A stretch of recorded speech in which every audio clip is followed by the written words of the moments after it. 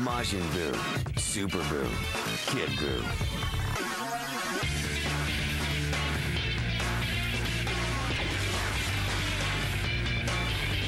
Evil comes in three new flavors.